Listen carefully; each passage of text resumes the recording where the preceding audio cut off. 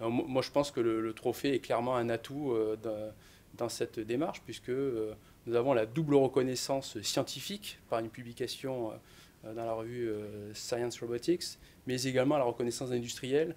Donc, à partir du moment où on va dire tout le monde est d'accord sur le fait que ce que nous avons construit est, une innovation, eh bien, Là, nous sommes en cours de développement, euh, d'extension des, brevets euh, différents pour les différents domaines d'application, euh, justement pour pouvoir valoriser ces travaux académiques auprès des acteurs industriels. Alors, le projet Handbot est particulièrement intéressant pour trois, trois raisons. La première, c'est la bio-inspiration, qui est vraiment un sujet très intéressant. le deuxième, c'est, le deuxième point, c'est la capacité de pouvoir avoir une consommation extrêmement réduite, hein, pour minimiser euh, la consommation électrique euh, d'un capteur. Et enfin, la dernière point, c'est l'impact sur l'autonomie. Euh, ANSYS a beaucoup d'investissements et a déployé une offre ANSYS qui s'appelle ANSYS Autonomie pour la simulation complète de véhicules autonomes.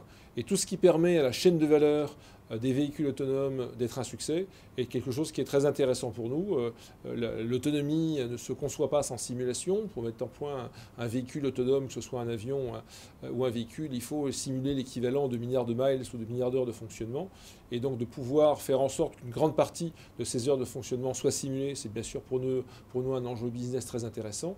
Et donc tout l'écosystème de la chaîne de valeur, que ce soit les capteurs, que ce soit les systèmes de, repérage, que ce soit euh, bien évidemment les, différentes euh, solutions électroniques, sont pour nous des choses intéressantes. Et donc on était très heureux de remettre ce prix à Handbot. En plus de ça, le, projet vraiment euh, assez euh, innovant vient euh, du tissu académique du sud de la France. On est nous-mêmes très présents dans le sud de la France avec les acquisitions qu'on a récemment faites d'Optis à Toulon et à Valbonne. Donc on est assez content d'avoir une participation avec l'écosystème local de la région PACA.